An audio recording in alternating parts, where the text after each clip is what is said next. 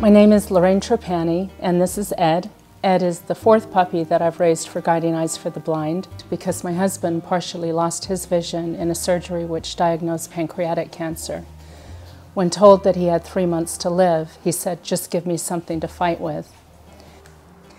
After my husband died, I buried myself in work, and over the years that followed, I gained more than 100 pounds. When I brought Merrick home, structure is so important to puppies, and so my life became structured. I found myself scheduling walks before conference calls. All this exercise helped me sleep and I began to lose weight. Everyone wanted to say hi to Merrick and because I was at the end of his leash, they said hi to me too. IBM strongly encourages and supports volunteerism and I was able to bring Merrick into the office with me for meetings so that he might develop the skills in a work environment he needed in his career as a guide dog. Our dogs need to be socialized on a level far greater than a pet. Our dogs are going to be traveling in airports, trains, they're going to be sitting in board meetings. I'm so grateful to Guiding Eyes. Raising a puppy for them and, and all of the things that come along with it has really enabled me to feel again.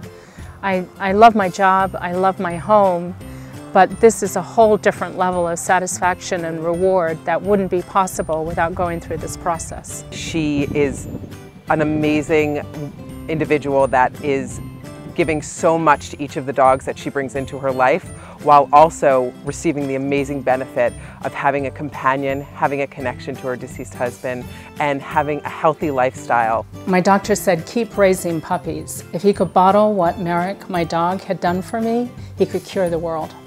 Merrick has since moved on to fulfill his true destiny as a guide dog to a blind and partially deaf partner living in Boston. What I really didn't expect is it's a lot of fun. It takes you out of yourself.